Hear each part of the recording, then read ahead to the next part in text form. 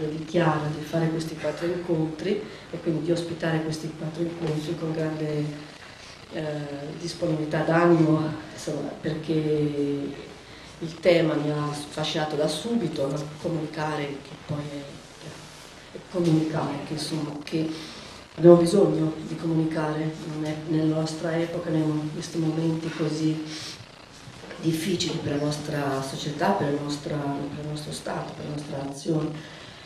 Comunicare che per il significato stesso della parola, anche etimologico, no? eh, dal latino, ci sono insegnanti, forse meglio di me sapranno, però io di solito vado a cercare un po', uso a cercare il significato etimologico delle parole perché da lì si impara tanto, è proprio uno no? eh, con e poi legare, il significato di nullis, legare in latino, nullis, no? Cum nullis, che vuol dire proprio legare, è proprio questo, legare, comunicare per lega, legare. Tante penetrazioni che ho, ho quella dello sport e quella del calcio, e Leonardo, suo fratello, Don Leonardo tra l'altro, Biancalani, si era inventato la nazionale dei sacerdoti, che è stata una nazionale che ha fatto molto discutere, ha girato l'Italia facendo tantissime partite di beneficenza, tra l'altro dentro c'era anche un, un, mio carissimo amico che è un francescano che si chiama Fra Stefano Albanesi, che era un calciatore professionista oltretutto, che un'estate abbandonò il ritiro del Pescara in Serie B per andare nel ritiro francescano e, e c'era all'epoca un allenatore molto bizzarro che ancora esiste, che si chiama Giovanni Galeone, che disse per fortuna che se n'era andato se non mi convertiva tutti, quindi questo era lo spirito in cui ci trovavamo. Detto ciò, io nasco um, non giornalista prettamente sportivo, ma nasco giornalista di spettacolo perché ho iniziato a 17-18 anni, ho avuto la fortuna, sono nato a Spoleto e sono nato di fronte a casa del maestro Menotti, che era il grande patrono del Festival di Spoleto. Per cui ho iniziato facendo una sorta di, di portapacchi e affascinato da una, da, una, da una piccola sala stampa ho iniziato a conoscere il mondo dello spettacolo, da lì mio nonno aveva un genere alimentare, quindi io sono un po' nell'ambiente mercantile e portavo le spese, la spesa come si dice da noi in Umbria, portavo le borse de della spesa a personaggi che potevano essere Mastroianni che viveva lì insieme a sua moglie, a mia moglie Carabella, Gasman, eh, tutti i grandi coreografi che sono passati, Bob Wilson. Insomma, io sono cresciuto in mezzo a un, un mondo fatato pur stando in un piccolo borgo di provincia che è una città che oggi come oggi se ne siete mai stati, insomma, è una sorta di, di, di, natura morta a cielo aperto, è una bellissima città con una grandissima storia. E la storia del festival è entrata subito dentro di me e lì la vocazione appunto di raccontare, raccontare la gente, raccontare le persone, intervistarle. E tutto questo poi me lo sono portato dietro con una gavetta lunghissima perché nessuno a casa mia aveva mai pensato di, di fare questo mestiere.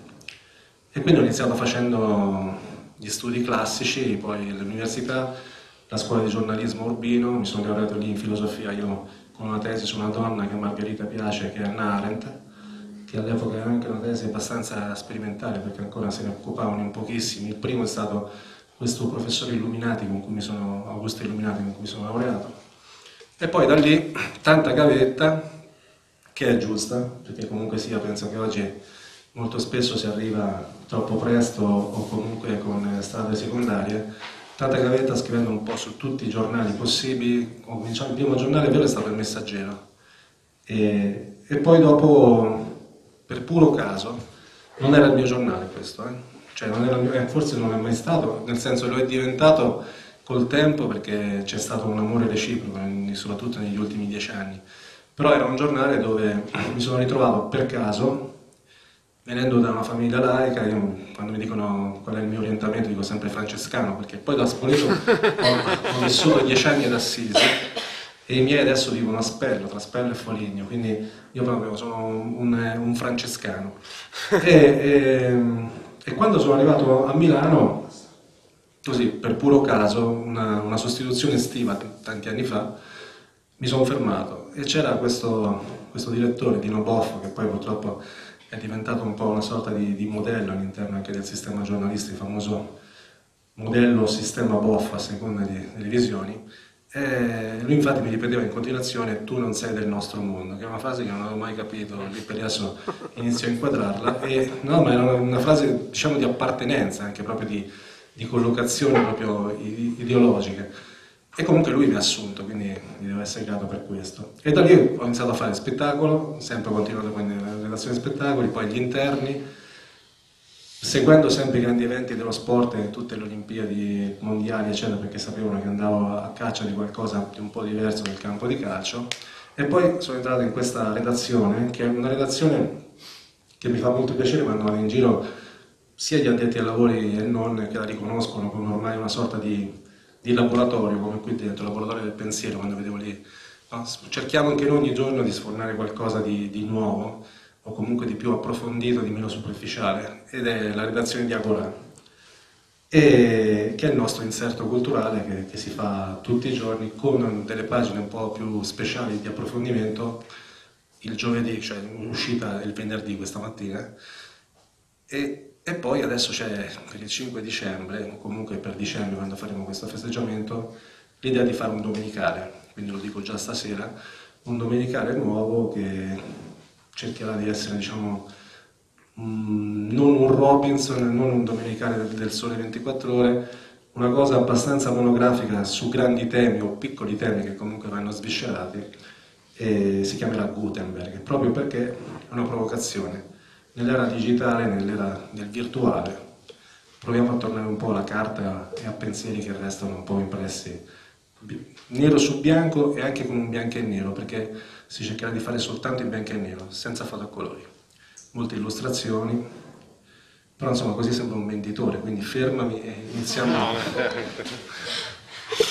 ti ringrazio. Allora, eh, io presento me stesso in una maniera leggermente diversa, cioè chiaramente sono sacerdote cattolico che agisco qui, però in questa sera, in questa veste, diciamo c'è anche un po' il mio percorso culturale dietro e eh, come la logica di ogni percorso culturale nasce sempre da una domanda.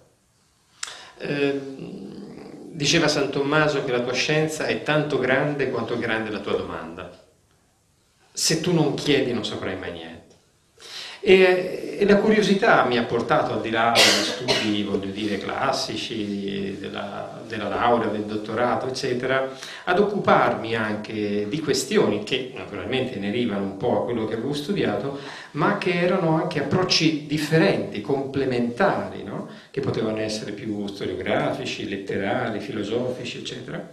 E mi è parso che il riconciliarsi con la realtà debba coincidere con il mettersi in moto nella conoscenza. Cioè effettivamente chi, chi conosce davvero e cammina dentro una realtà che lo interroga continuamente. È chiaro che non è che si parte da zero, qualche cosina nella saccoccia hai, qualche... Eh, no? Però pensare invece il contrario, come invece ho trovato nel mondo dell'università, di cui tra l'altro faccio anche parte, ecco perché ci insegno pure, però è pensare che il reticolato universitario sia il luogo della conoscenza, semmai è il luogo dove si apprendono gli strumenti per la conoscenza. E allora questo mi ha, mi ha portato un po' a lavorare con, anche con filosofi, con altre persone nel mondo della cultura e piano piano poi ci siamo conosciuti con Massimiliano e allora l'idea anche stasera di partire. E all'inizio ti vorrei fare una domanda, no? perché qui abbiamo discusso un po' su questo. Solo lo faccio io. Proprio. No, eh, va bene, sai, è, è, la legge del contrappasso. Eh? E, questa è, comunico quindi penso. Però lui mi ha detto, mettici il punto interrogativo. Ecco, ma perché c'è un punto interrogativo? perché, perché secondo me questa è una fase... Ah no, sono terremotato, quindi quando sento momenti così Ehm, no, è, secondo me è una fase questa qui storica in cui si comunica tanto, con tantissimi mezzi, abbiamo a disposizione un, un'infinità di mezzi. Andiamo sempre, tiriamo sempre in ballo la parola social, ma è quella che in questo momento è dominante e, e lui lo sa bene, cioè abbiamo qui un degno esponente. E la generazione social, la famosa generazione poi di cui facciamo parte anche noi poi come, come seconda entrata, cioè dei look down, quelli che ormai vivono sempre con gli occhi abbassati sul, sul telefonino. E quindi secondo me il fatto che si comunichi tanto non è detto che si pensi, anzi il fatto proprio del, dello straparlare, del, dello scrivere in eccesso proprio sui social porta continuamente a un fenomeno ormai di, di implosione. Credo che ci sia un'implosione in questo momento della comunicazione. Tutti si stanno preoccupando se imploderà prima la carta o imploderà prima il virtuale.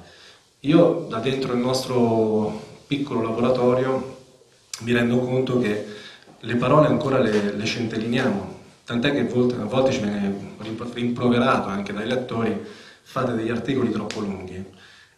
E questo perché noi abbiamo articoli da 140-150 righe a volte che sono un po' un'anomalia per le grafiche che ci sono sui giornali convenzionali, pensate a Repubblica, Corriere, a tutte le riforme che sono state fatte a livello grafico, e quindi il 140-150 righe viene visto come una sorta di eccesso, come una sorta di, di prolissità. Chi sfoglia a venire eh, va, soprattutto sulle pagine culturali parlo, va per trovare degli approfondimenti che possono essere benissimo anche un saggio su, su San Paolo e le donne oppure su una filosofa come, come Simone Weil o degli scrittori dimenticati che comunque stanno sul crinale del cattolicesimo oppure di un laicismo fortissimo. A caso adesso abbiamo tra i nostri collaboratori anche Staiano, che Staino che ci crea qualche problemino con le sue vignette un pochino irriverenti.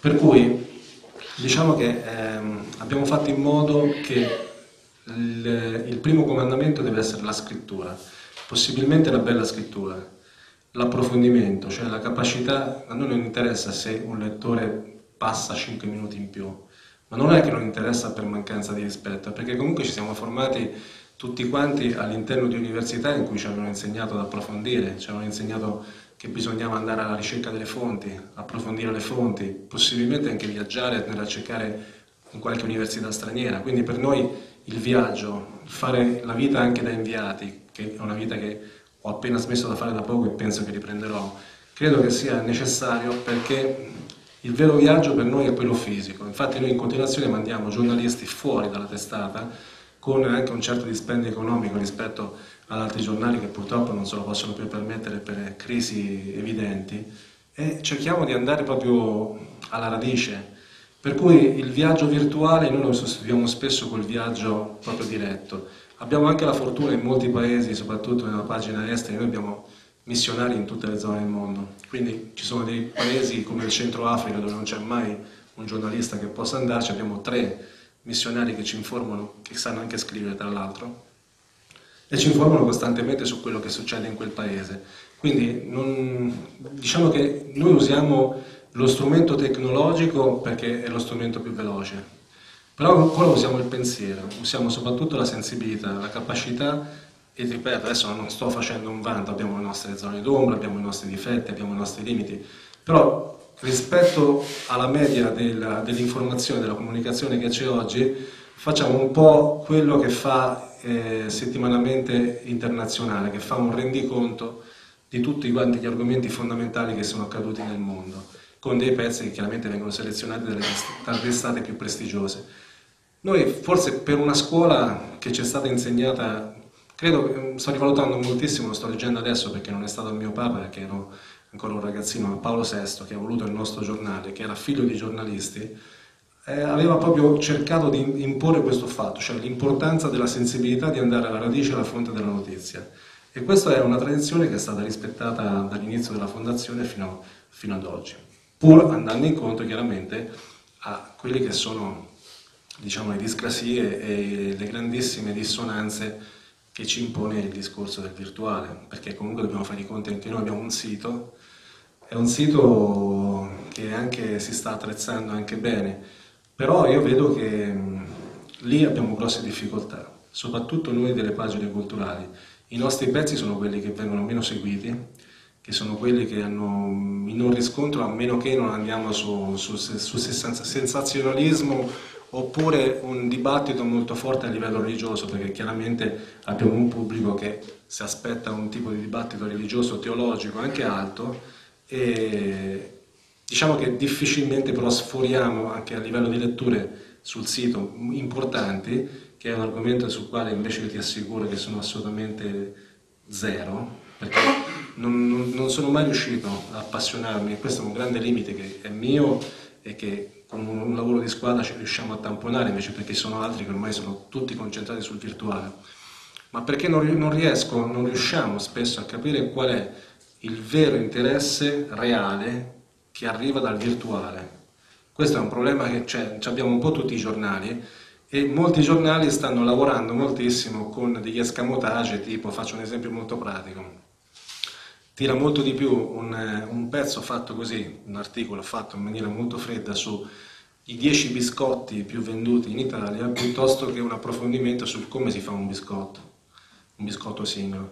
E questo è un tipo di, di, diciamo, di proposta e di offerta che la comunicazione sta facendo inseguendo sempre un pochino quelle che ti dicevo prima, che sono le regole del mercato, che sono le regole della pubblicità viene meno quello che è l'approfondimento e quello che invece è proprio la notizia reale e la capacità di raccontare storie.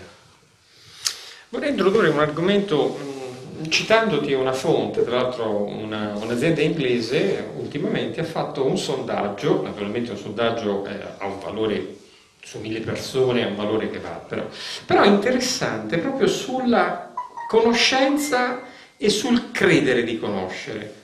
Cioè, sostanzialmente hanno provato a chiedere alle persone eh, se sapessero fare una cosa. Per esempio, lei sa come funziona il meccanismo di un, di un water, no, dice, certo, la cosa, dice ce lo può spiegare tecnicamente come funziona? Ecco, allora, alla prima domanda 100%, tutti sapevano, quando ho dovuto spiegare come funziona, l'80% non sapeva come funzionasse, no, ne hanno fatti 3 o 4 ad esempio.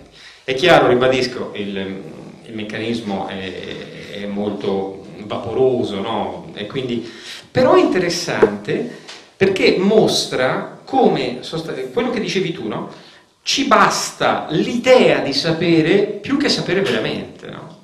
E allora mi chiedo e ti chiedo, introduco questo aspetto che comunque digitale o non digitale bisogna farci un pochino la, il callo, anche perché poi diventa notizia e diventa commento alla notizia, quelle che comunemente si chiamano, con una parola non bellissima, fake news e dove ormai mi pare, vedendolo dall'esterno, che sia una modalità eh, utilizzata anche in maniera propria, non soltanto perché è una notizia non fondata che è creduta come fondata. Allora, la prima cosa che hai detto prima del, dell'agenzia inglese eh, è vera, cioè la confermo su, su un aspetto. Eh, abbiamo verificato proprio sul sito che a volte gli articoli più letti erano quelli proprio di spiegazione di Vademecum addirittura su lezioni di catechismo o su, su come si prega nel mese mariano. Cioè ci sono stati dei, dei nostri collaboratori, teologi, esperti di, di religione, che eh, facevano questi pezzi che sembravano banali, no? presi così, perché messi soltanto sul sito, e avevano avuto degli scontri incredibili, addirittura anche dai giovani, perché comunque andavano alla ricerca di spiegazioni proprio terra terra, diciamo, cioè proprio in cui tu spieghi veramente come si, si, fa anche un tavolino oppure si mette a posto questo microfono. E questa è, è, una cosa che ti devi far pensare, perché comunque a volte c'è un eccesso magari anche da parte nostra della ricerca dell'originalità, mentre invece probabilmente c'è anche un pubblico che va alla ricerca dell'originarietà, cerca proprio l'origine, come, Margherita che va no, alla ricerca di etimologia, quindi è probabile che magari un, un, un'intervista al al presidente o al direttore della Crusca non abbia nessun effetto, mentre invece tutto un lavoro sull'etimologia possa avere grandissimi riscontri anche a livello di internet.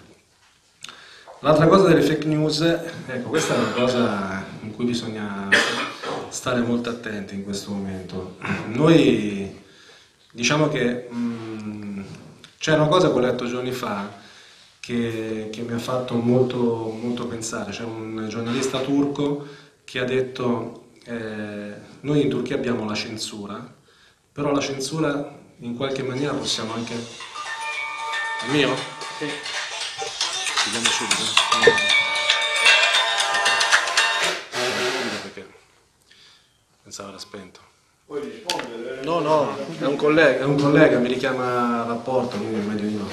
e, e, e quindi il collega turco dice noi la censura in qualche maniera con i nostri articoli, il nostro lavoro possiamo anche aggirarla. Voi, italiani soprattutto, si riferiva alla stampa italiana, eh, i tabù no. I tabù non riuscirete mai ad aggirare perché la vostra stampa è condizionata dai tabù. È vero, perché noi, posso assicurare, cioè noi facciamo parte già di un ambiente in cui è chiaro che abbiamo un certo rispetto che io dico sempre che il nostro editore è quello che sta più in alto di tutti, quindi bisogna stare veramente molto, molto attenti. Però in effetti un po' tutti i giornali, a seconda delle collocazioni, a seconda dell'ideologia che portano avanti, perché è indubbio che anche se molto indebolite esistono delle ideologie ancora che stanno condizionando fortemente anche questo momento storico, ehm, abbiamo tantissime, tantissime eh, zone d'ombra queste zone d'ombra spesso vengono riempite dalle fake news. La fake news poi secondo me non bisogna pensare sempre che sia qualcosa di straordinario, eh? cioè qualcosa, una manipolazione eclatante, quindi la prima fake news... Poi il tema delle fake news, ma ti leggo un passo in questo libro su Paolo di Tarso che ho avuto modo di prefazionare per la Casa dei Sapienti e che mi pare una fotografia che appunto leggendovi è un po' più, un po più chiara poi per introdurre il tema. Scrivo in questo testo Riporre al centro i temi del conoscere e della conoscenza è un servizio doveroso per l'uomo contemporaneo, pieno di notizie, di significati da decifrare, ma sempre più disorientato. Abbiamo infatti molte possibilità di informarci, ma soltanto le competenze acquisite interagiscono realmente con la nostra vita. Alle volte in vero ci vengono proposte delle soluzioni già preconfezionate, mutuate dal modello economico, o meglio dalle catene della grande distribuzione mediatica, trasformate in consumatori di tutto, anche di conoscenza. Questo modello, per come è fatto l'uomo, funziona soltanto parzialmente. Il contesto culturale del nostro tempo, infatti, è, è contrassegnato dalle categorie di crisi e di trapasso e una continua messa in discussione più o meno globale dell'assetto sociale esistente e la percezione di essere immersi in un processo di mutazione è rilevante. Tale processo interpella direttamente l'uomo, sottoponendolo a un continuo giudizio di revisione e trasformazione. La difficoltà riscontrata a livello antropologico è evidente. Abbiamo due saperi che non sono più conflittuali ma paralleli. Da una parte la scienza, con il suo sapere certo, ridotta a puro empirismo, dove il senso dell'esperienza del mistero e della meraviglia, condizioni essenziali per il filosofare ma anche per la stessa ricerca scientifica, sono per lo più assenti. Ed un sapere utile, legato al vivere, che però non è obbligante e genera una conflittualità di vedute. In tale contesto l'opinione diventa il criterio fondamentale della quotidianità. Tutto questo ha contribuito a creare nell'essere umano una nuova coscienza di sé, una fiducia illimitata nelle proprie capacità di modificare il reale attraverso l'azione individuale e collettiva. E io volevo proprio farti questa domanda a partire dall'opinione. Allora, se l'opinione eh, diventa la percezione, è importante avere un'opinione, c'è una cosa che mi colpisce, dice ma lei cosa ne pensa di questo? Ma magari è una cosa che ti sei occupato, sì, ma di una cosa che non ti sei occupato cosa ne pensa?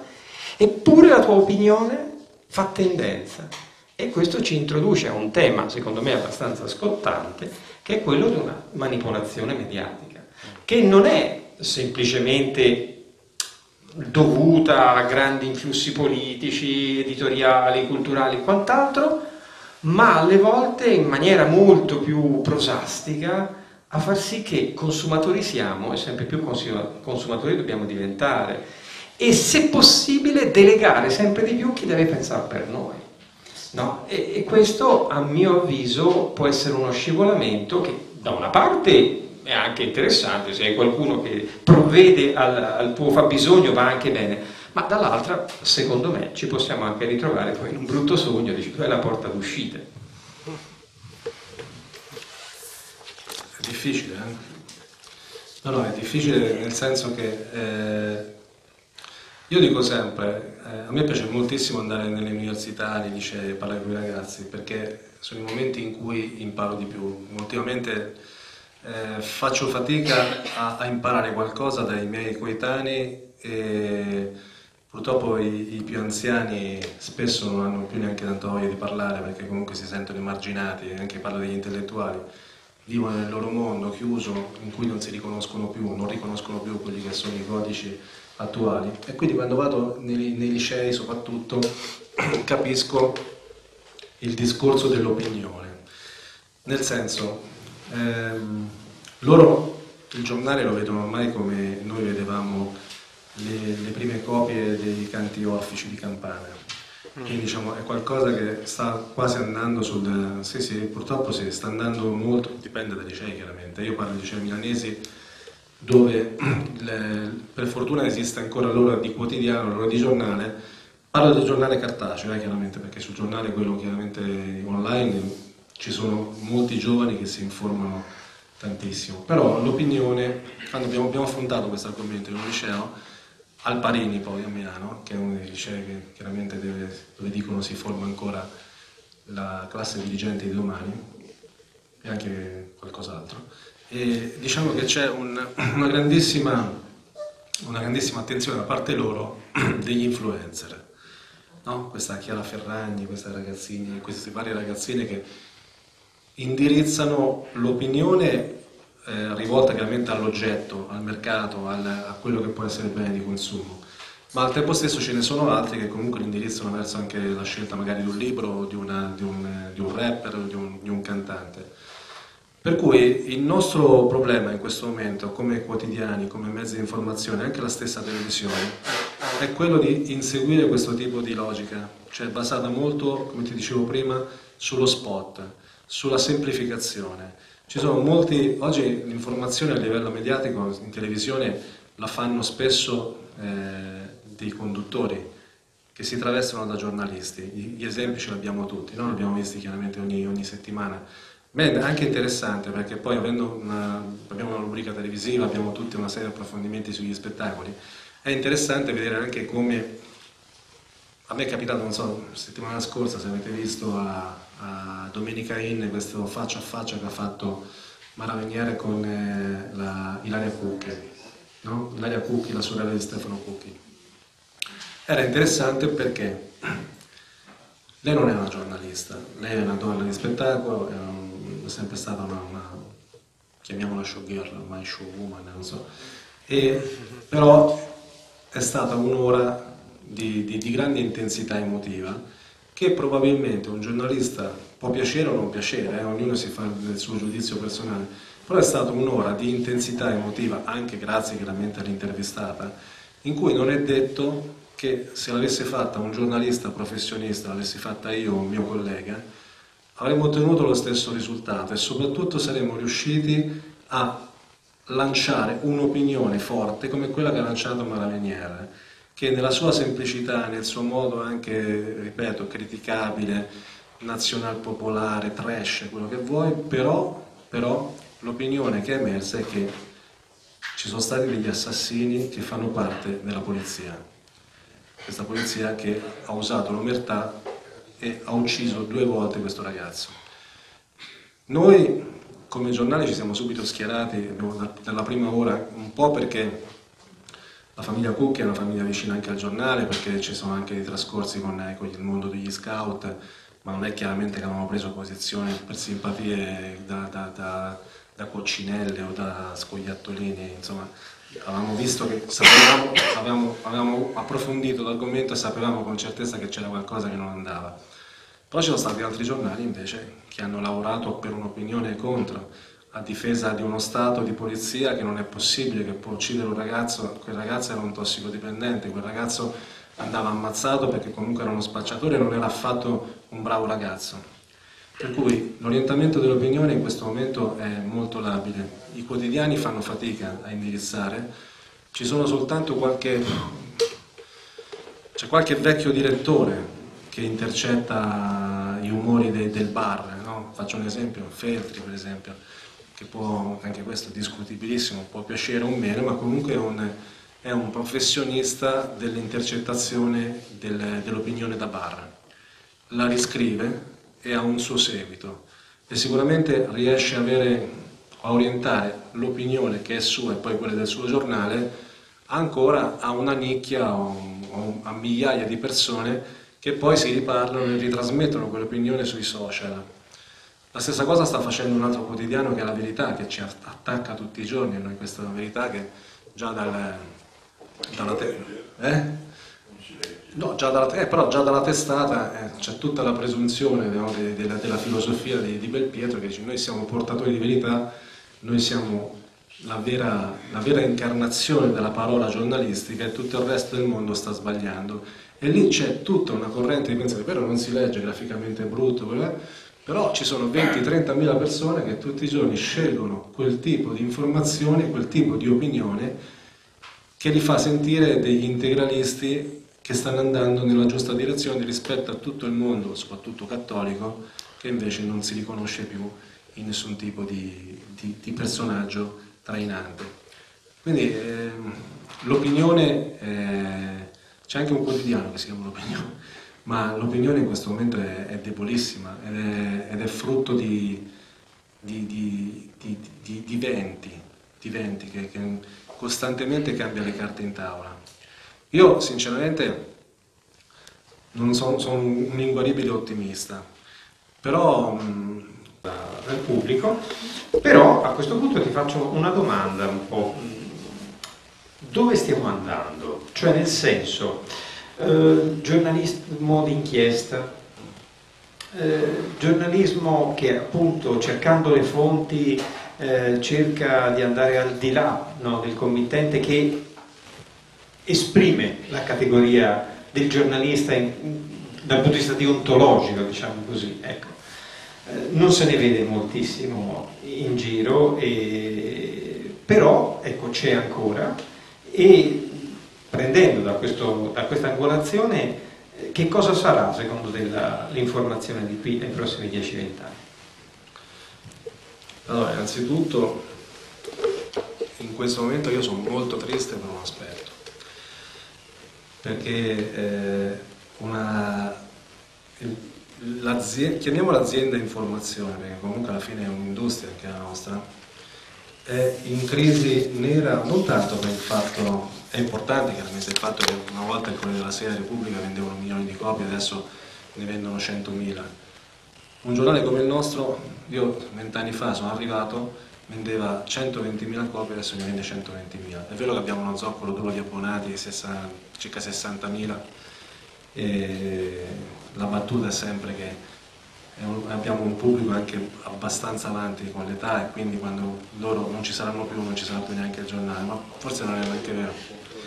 Però, però è anche vero che eh, il, il grave fardello critico è l'assenza di un ricambio generazionale, cioè noi non stiamo più assumendo giovani e la cosa poi che dà fastidio è perché mh, ci sono entrato e poi sono uscito è che le scuole di giornalismo sono delle, delle palestre dove alleni un pugile che non andrà mai a fare il match cioè tu dai la possibilità a questi ragazzi, sì, pagando poi tantissimi soldi perché la maggior parte sono private e comunque ci sono delle rette abbastanza importanti, tu li illudi che gli stai avviando una professione dove non arriveranno. Attenzione, queste poi erano le parole che dicevano anni fa alcuni professori delle scuole di giornalismo per dire a, ai ragazzi non venite a, ro a, rovinarci la vita, magari siete anche più bravi di noi, ci leggevi spesso anche un po' di invidia come no, state fuori, ci siamo già noi che siamo dei geni perché venite dentro, perché... mentre invece adesso c'è un problema proprio di, di mancanza di, di, di posto da occupare, cioè di luogo fisico dove poterlo inserire un giovane. E allora dispiace perché se io faccio un corso di formazione per fare i biscotti Pino Margherita è probabile che fra tre mesi, un anno avrò un posto, magari da, da, da apprendista.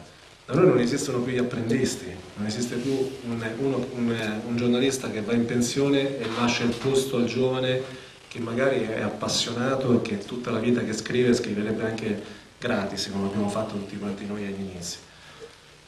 Questo è, è, un, è, il vero, vero segnale della crisi forte. Quindi i giornali, i giornali, secondo me, io da inguaribile ottimista vorrei che non morissero mai. Vorrei, vorrei che la carta esistesse sempre, vorrei che i libri, visto che dico sempre, no? spegni la tv, accendi un libro, cioè questo è lo slogan che dobbiamo lanciare sempre più possibile. La lettura è l'unica cosa che ci salva, Pasolini diceva che l'unica forma proprio di salvezza è la cultura, l'avere non un titolo di studio, ma andare in giro per le strade, eh, proprio abbeverarsi della sapienza della gente. Per cui io credo che se c'è questo stimolo ancora, i giornali anche con pochi numeri, certo potremmo diventare delle cose ancora più di nicchia, però io penso che il, la voglia di, di, andare a una fonte, di abbeverarsi, mh, mm, non la sentono tutti. Quindi non, è, non, è, non, è, non, dobbiamo continuare a basarci sempre sul discorso quel programma funziona perché ha fatto 12 milioni di share. Ci sono dei programmi di una qualità estrema che magari sono seguiti da 30.000 persone. Non a caso, ecco, forse nel grande, grande universo, nel grande caos televisivo che c'è oggi, le tv tematiche comunque consentono a persone che magari sono appassionate solo di cavalli di guardare 10.000 persone lo stesso programma sui cavalli. Noi dobbiamo smetterla secondo me di stare eh, sempre appresso al numero e che il numero dà l'entità. È la qualità, è l'artigianato quello che fa la forza secondo me, cioè il pezzo unico. Quindi il pezzo unico deve essere anche il pezzo dell'articolo. Quindi finché esisteranno dei giornali che offriranno una serie di pezzi unici allora c'è speranza. La stessa cosa poi se ci dobbiamo trasferire su una piattaforma in rete virtuale, perché no? Però l'importante è mantenere la qualità e tu mi devi dare un'informazione che sia corretta e che soprattutto possa farmi pensare, mi dia o un momento di emozione o un momento di pensiero.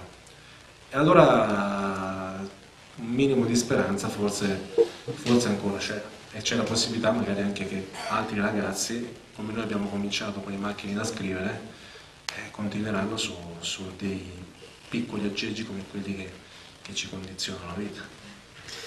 Sì, io penso che mi aggancio a quest'ultima conclusione tua, credo che la necessità di raccontare è tipico del nostro apprendimento complessivo, no? perché le storie ci piacciono così tanto? Perché nelle storie ci sono dei contenuti, ma c'è anche un'accordatura nei sentimenti, anche perché alle volte nelle storie che ascoltiamo c'è una parte del nostro vissuto, le storie di sofferenza o di gioia o di trasformazione o di crisi, c'è un'immedesimazione, no? E quindi ci sarà sempre bisogno di qualcuno che non è un mero trasmettitore di contenuti, ma che la sappia raccontare la storia, che sappia farti entrare, accordare con quella storia. Quindi credo che questo mestiere non, non possa tramontare, certamente si trasformerà. Possiamo dire, e questo è il mio pensiero che condivido con te, che sicuramente siamo alla vigilia di una grande trasformazione, quello che sarà la sintesi sociale, ehm, i diritti fondamentali condivisi, il riconoscimento al, probabilmente entriamo dentro un percorso entro il quale molti di fondamenti che noi adesso diamo più o meno per scontati non saranno più scontati, ma sono assolutamente convinto che gli intellettuali dalla loro parte, i giornalisti, gli operatori culturali saranno, che posso dire, i semi e quindi da questo punto di vista eh, anche nella sapienza popolare è, è molto importante perché sarà, sarà l'humus diciamo, fondamentale per ciò che poi mm, magari nascerà dopo. Per quello che dicevi che non sempre interessa il conoscere, questo è assolutamente vero, e ti cito un'immagine biblica che è molto bella, eh, ed è la raccomandazione di un anziano a un giovane che vuole acquisire la sapienza. No? e a un certo punto gli dice di frequentare le riunioni degli anziani. Questo sarebbe già un consiglio per la nostra società da non seguire, però dice se tra di loro trovi uno saggio, quindi non è proprio facilissimo, l'immagine che gli dà è il tuo piede logori la soglia della sua porta, no? cioè vacci talmente tanto no? Certo. che, eh, che, in qualche modo no?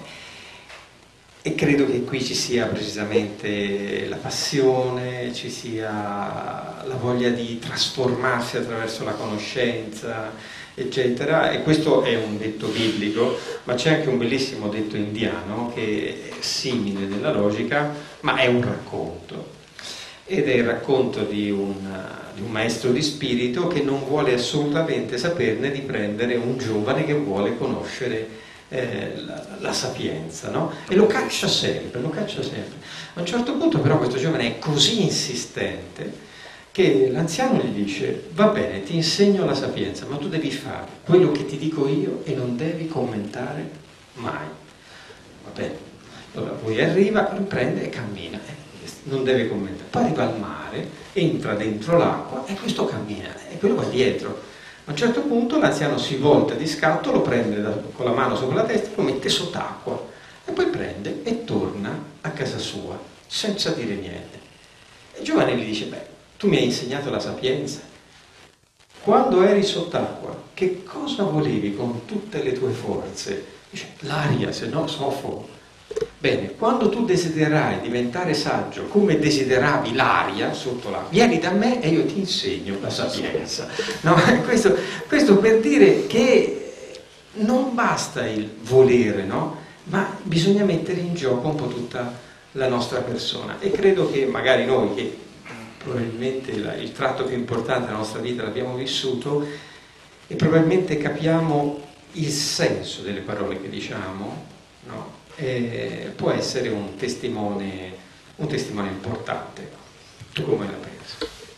Tu hai detto una cosa, è una cosa bella che mi ha toccato perché ehm, quando io ho cominciato eh, a Ricciola, eh, a me dà fastidio spesso anche quando poi si trascende no, in, in, approfondimenti da, da New Age che, che, che condizionano tutti quanti adesso non, non, studiando più la filosofia ci buttiamo sulla prima cosa che ci capita, però il grande dramma è questo, questo è un dramma secondo me, cioè l'assenza di un pensiero che ci viene insegnato, l'assenza di un'educazione. E senza quella eh, il livello culturale si abbassa profondamente, il livello dell'informazione non esiste più e, e niente, accendi la tv e spegni il libro. E per concludere appunto parlando con Massimiliano di come, diciamo, quale parola lasciare, eh, alla fine abbiamo messo questo. La gente deve guardare le parole. Grazie.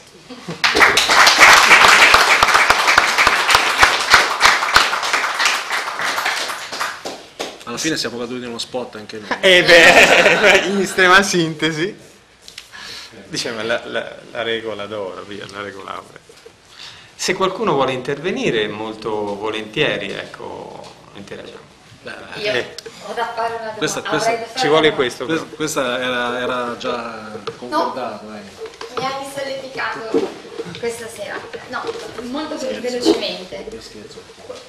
Come? No, io scherzo. Certamente. Ascolta, la storia più bella che hai raccontato, il comunicatore più in gamba che hai incontrato, il pensatore di oggi al quale ti ispiri?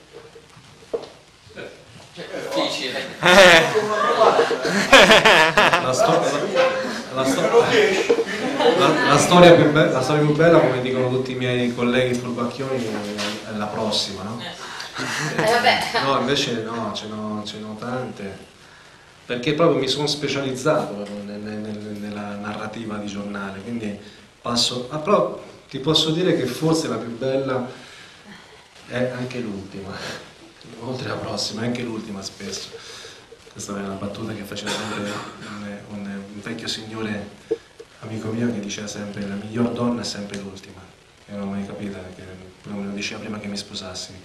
E, e, però la cosa è una storia molto bella che ho trovato questo, tra l'altro è un libro che vi consiglio, di una piccolissima casa editrice, uscita adesso, che si intitola Dovevo sopravvivere, ed è la storia di eh, Roberto Canessa. Roberto Canessa oggi è un cardiochirurgo pediatrico in Uruguay e penso che ce la ricordiamo un po' tutti questa storia. È la famosa, famoso aereo che andò a sbattere contro, nella cordigliera delle Ande nel 72, morì gran parte di questa squadra di rugby, una squadra di rugby uruguayana, e che si salvò, riuscì a farlo anche perché eh, mangiarono i corpi dei compagni. Allora questo libro qui no, è appena stato tradotto in Italia e, ed è molto bello perché ho parlato con questo signore, questo medico che adesso farà un tour, anzi te lo segnalo Margherita, questo qui potrebbe essere intercettato e portato anche qui.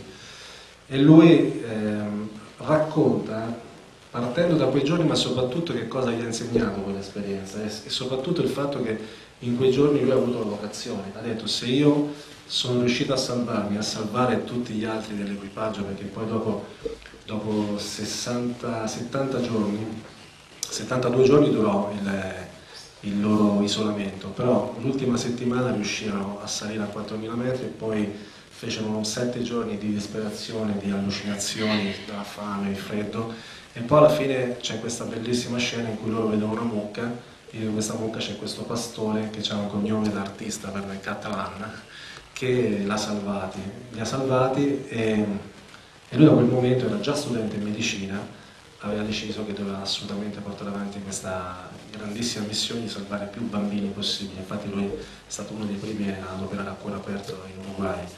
E questo signore adesso verrà in Italia, farà un, un tour, eh, ma con la casa editrice si può mettere d'accordo e secondo me è un uomo da ascoltare perché tutto il libro è pervaso di una spiritualità incredibile e soprattutto ehm, c'è proprio una cosa bellissima, il, il, disegno che ognuno di noi ha dentro no? e che lo scopre mano a mano, soprattutto lo scopre magari nel momento in cui proprio sei proprio spalle al muro e lì devi prendere la decisione su che cosa sarà la tua esistenza. Quindi questa è la storia più bella, ma ce ne sono tante. Per quanto riguarda il, la, la, figura più bella che ho incontrato nel giornalismo, eh, uno, uno, è un, un, uomo a cui sono molto legato perché l'ho conosciuto da, da, ragazzo e adesso non sta bene, si chiama Umberto Sposini, è un personaggio che incarnava un po' l'eleganza del mezzo gusto televisivo che entrava in, in casa e, e lo, rispett lo, rispettavi solo già per la sua bellezza estetica, la sua pulizia. Però dal punto di vista proprio del, del pensatore da giornale, penso più vado avanti, più lo rileggo, che nel nostro campo uno come Enzo Biagi non c'è più stato. Penso che sia stata una persona estremamente completa, è un uomo di, di, una, una, pulizia morale, di intelligenza. Io ho avuto la fortuna di incontrarlo l'ultimo periodo quando sono arrivato a Milano e mi è rimasto, uso spesso la, la sua massima che era più brevi, più bravi, e poi un'altra cosa simpaticissima che mi raccontò che quando andava alla Scala e si presentava all'ingresso, una volta si permise perché si parlava di come noi giornalisti spesso abbiamo questa fama di scrocconi. Lui quella sera portò anche la moglie e i figli, no? si presentò dicendo stampa la stampante e gli stampini. Era un uomo di un'ironia incredibile. Quelli di adesso, beh, adesso è difficile, non lo so. Quelli di adesso, io faccio fatica a leggere, io cerco, cerco sempre di trovare il meglio, eh, un po', anche, anche, anche, nella verità cerco di trovare il meglio. Non, non ci si riesce, però ci si può. Eh. Sì, sì, brava, brava, brava. Ma, ma, ma, di bravi ce ne sono tanti. Il problema è che, ehm, secondo me, eh, la, la, la, bravura sta nel sapere, nel saper durare, un po' come in tutte quante le attività, cioè nella capacità di... Il colpo di tacco nel calcio riesce un po' a tutti, ma farlo continuamente, quotidianamente, è difficile. Però ci sono dei, dei, beh, ci sono dei giornalisti, secondo me, che, che hanno qualcosa in più, penso ad esempio a Francesco Merlo, penso nel campo ad esempio delle, delle, dello sport eh, c'è stato, è un giornalista che è trasversale, mi sento molto affine, siamo anche amici, che è Gianni Mura. Eh, però diciamo che in questo momento, ecco, quando parlavi tu dell'opinione, cioè anche tutti questi eh, giornalisti difficilmente riescono a fare opinione, sicuramente ci riesce su Repubblica Michele Serra, Ehm, però una figura eh, straordinaria come quelle, c'erano tante, soprattutto manca una cosa fondamentale, ecco, questo ci tenevo a dirlo. Nei giornali degli anni 70-80 c'erano ancora gli scrittori, quindi tu aprivi il Corriere della Sera e trovavi ancora Dino Buzzati, trovavi Mario Soldati, eh, trovavi Giovanni Arpino, ehm, c'era Pasolini scriveva sui giornali, Moravia scriveva sui giornali. Oggi ehm, sono rimasti pochissimi esempi anche di narratori che sono in grado anche di essere scrittori. Quindi Questo perché? Perché la narrativa chiaramente è, in crisi, come è in crisi lo stesso, lo stesso giornalismo letterario. E quindi non, noi ad esempio abbiamo la fortuna che forse uno degli ultimi eh, pasoliniani, che è Goffredo Fofi. E Goffredo Fofi è un, è un giornalista che però ormai anche lui fa dei pezzi massimo di 30-40 righe. Ecco, questi, manca soprattutto un, una narrazione un po' più approfondita come piacerebbe a noi e quindi ci sono pochi pochi esempi di, di, ci sono forse più scrittori stranieri che scrivono sui nostri quotidiani, penso ad esempio a Grossman, Amos Oz, Vargas Llosa quando scrivono sui giornali, i grandi, i grandi quotidiani, i giornaloni, quelli che erano i giornaloni. Però insomma, noi ecco, abbiamo un paio di buone scrittrici, che ad esempio Antonia Aslan, che è questa scrittrice armena, che ha scritto questo bellissimo libro che è La fattoria dell'allodole. E penso che in questo momento, ecco, ti dico una cosa che ti farà piacere, secondo me c'è più qualità nella scrittura femminile, anche tra le scrittrici, cioè è un momento in cui secondo me è, è, un, è una sensibilità più forte e che si riesce a trasmettere meglio nei, nei giornali. Stessa cosa, ad esempio, è molto brava a scrivere sul nostro giornale Susanna Tamaro al di fuori dei romanzi. Quindi non al di fuori dei romanzi, specificavo.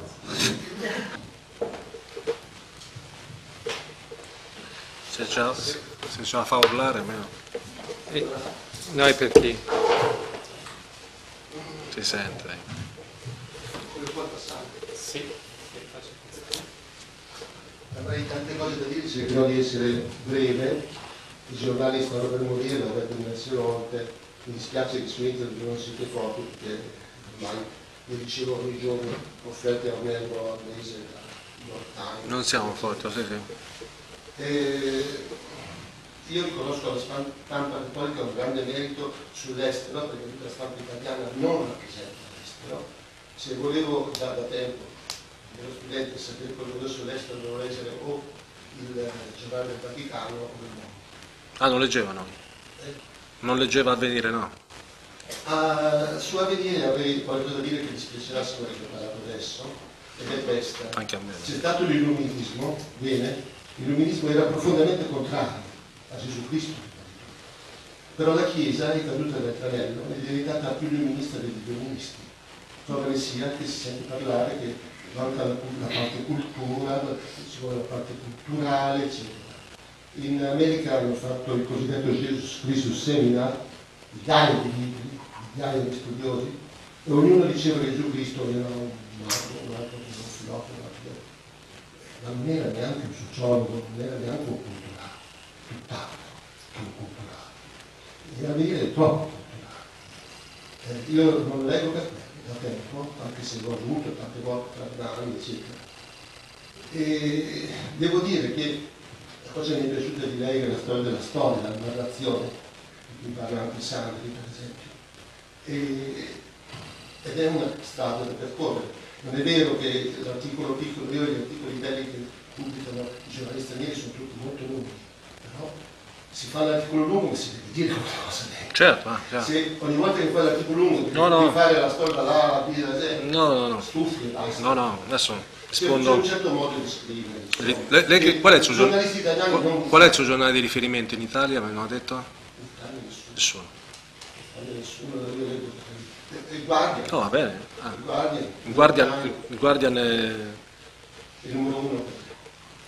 E invece parlando di noi, in questo momento la Chiesa Cattolica è attraversata da tante divisioni e voi dovreste portare queste divisioni. Non so se lo fate.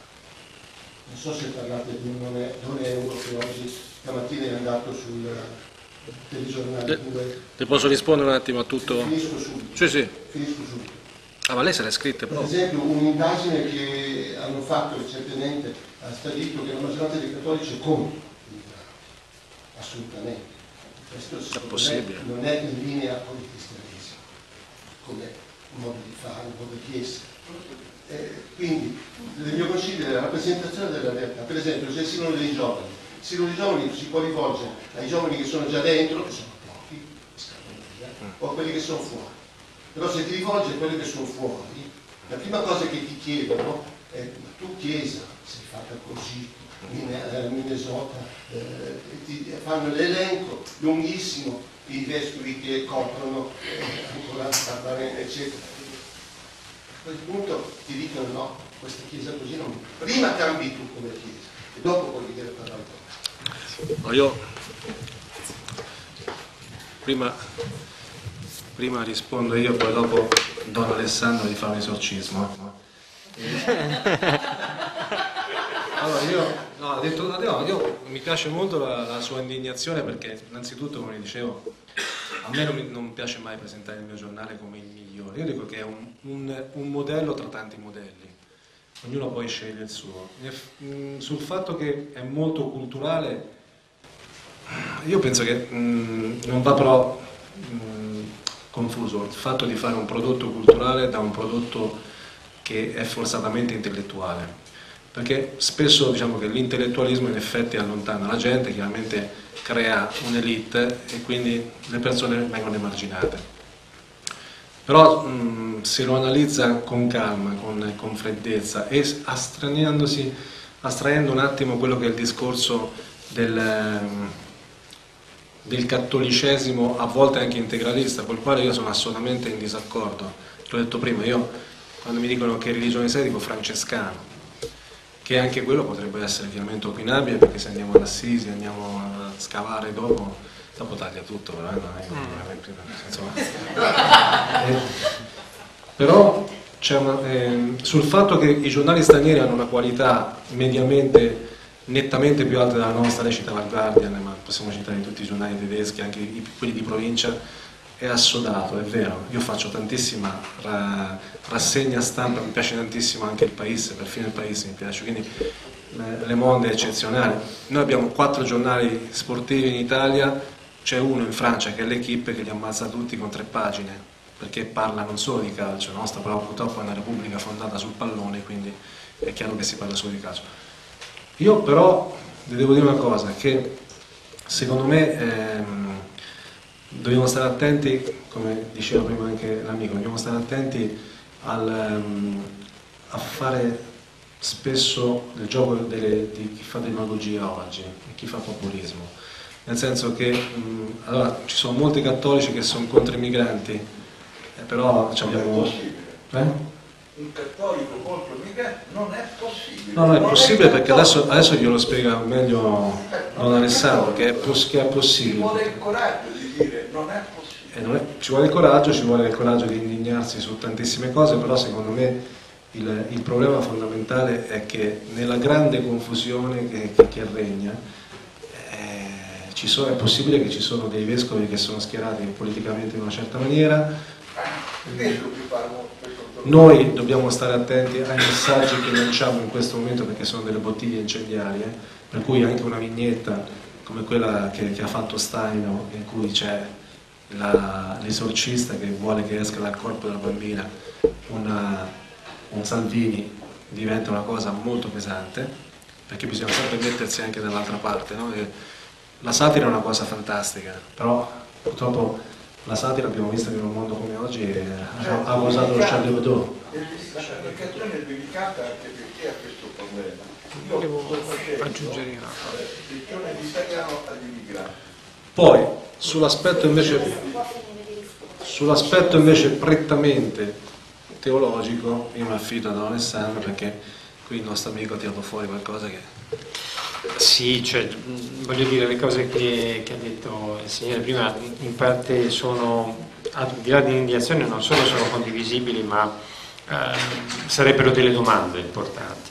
Io ritengo che prima del, di quello che ha, detto, che ha, detto, in precedenza, se eh, la nostra intelligenza, il nostro pensare sono eh, già orientati eh, probabilmente non pensano. Mentre l'originalità anche dello scontro, perché magari uno è identificato dal punto di vista anche del pensiero, eccetera, ma deve essere il confronto, l'apertura. Ma se, come diceva prima Massimiliano, no, c'è l'impermeabilità, perché c'è semplicemente l'autoreferenzialità, eh, probabilmente è, è difficile poi eh, e quindi, per tornare al sinodo dei giovani, la domanda è, noi ci interessa pensare quello che tra 10-20 anni sarà? E questo io qualche dubbio ce l'ho.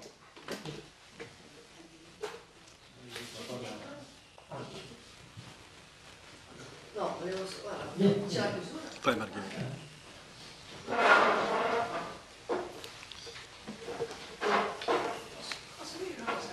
Eh, certo, certo. Però devi avvicinare, se no non si sente. Ma si sente. No, era una cosa Eh. una cosina, diciamo, eh, mo- molto, molto semplice, diciamo. L'ho acquisito molto questo fatto della, della- della cassettina del, del water, no? nel senso che a me una volta è capitato che quando ho detto, Monica, dice, eh, eh, fammi questo lavoro, cambia la cassettina, io ho mai visto una cosa del genere, dico, vabbè, un lavorettino, l'ho fatto. E l'ho smontata, l'ho fatta, qualche anno fa, ancora funziona, quindi il periodo di garanzia è passato, non funziona. E que- qual è la cosa, la cosa che volevo agganciare? È che effettivamente se uno non si mette un attimino in gioco, nel, nel- nel mettersi ne- ne- anche in una cosa diciamo pratica, non può capire come, come- come può funzionare questa cosa. E come mettersi, mettersi in rapporto con qualche cosa, cioè fare anche, un'es- anche l'esperienza di qualcosa. Penso che anche quella comunicazione sia lo stesso. Ma ora io abbiamo parlato di eh, politica, eh, cosa sarà il futuro. Io vorrei parlare di una cosina molto più semplice, anche i nostri rapporti comuni tra noi. Se non sono basati su un'esperienza, su una comunicazione che presuppone eh, un contatto anche, anche- anche, diciamo, fisico, al di là di quello virtuale dei messaggini, insomma, poi è una cosa che ci tocca tutti da vicino. Eh, eh, è, è molto facile, questo me ne, rendo ancora anche conto anche io, eh, della mia esperienza così, che se non c'è un contatto diretto, un'esperienza diretta, una condivisione anche di spazi, di tempi, quella comunicazione va a finire in niente. Io penso che è quello il problema anche che provoca quello stacco. E, e poi se noi certe cose non le riusciamo neanche a fare tra noi, io penso che anche a livello un pochino più alto sia ancora più difficile. E, e questo richiede un coinvolgimento, insomma, una responsabilità. Ora io sono partita, ho partito- sono partita da questa cassettina come cosina provocatoria evidentemente, ma penso che sia una questione poi di principio, una cosa di fondo, insomma. E anche mettersi a comunicare con qualcuno significa anche un po' scoprirsi, insomma. E, e non mi sembra che insomma, l'andazzo sia quello di mettersi anche sotto questo, Mettersi in gioco, certo. Se vi potete abbracciare. Per. Vieni qua, Margherita, vieni qua. Buonasera. Buonasera Margherita. Faccia, faccia come per- se stia a casa sua. Sì, no, ver- mi sento veramente di ringraziarvi perché non mi aspettavo una, diciamo, una, un incontro così. Ma questo è il peggiore, il peggiore poi, eh. No, Proprio si va, si va, si va a salire. insomma, di- abbiamo avuto.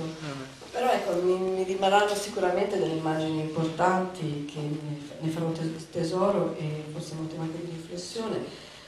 E io penso che da domani inizierò, ricoprirò a venire, sicuramente. perché, no, perché penso che ai miei, ai- ai miei tempi, cioè quando andavo all'università, cioè a scuola, ho fatto eh, liceo così, esisteva la parola controcultura, no? che però veniva usata, esprimeva un, un altro tipo di, di ideologia, cioè sosteneva un'ideologia rivoluzionaria. Cioè, contro- io penso che forse adesso sta a noi fare una contro- controcultura, quindi la- l'opinione che, di cui si parlava prima, no?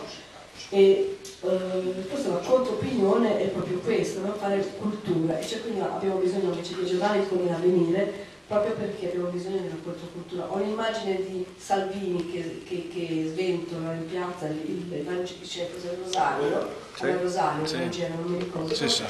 che l'ha usato strumentalizzato a sostegno della sua- del suo pensiero, della sua ideologia, ma sappiamo bene che non è, è quello comune che fa opinione, no? ha fatto opinione, ha fatto opinione, forse anche questo è il motivo per cui ci sono cattolici che eh, no, sostengono l'ideologia, il pensiero di Salvini E di Maio. e, e, va bene, eh, no, però non voglio ecco, fare polemica, però è, è perché e voglio fare, anzi, non voglio fare polemica, ma voglio fare cultura e quindi eh, dobbiamo tornare a forse anche noi mettere al centro della nostra attenzione eh, persone che fanno cultura, eh, giornali che fanno cultura.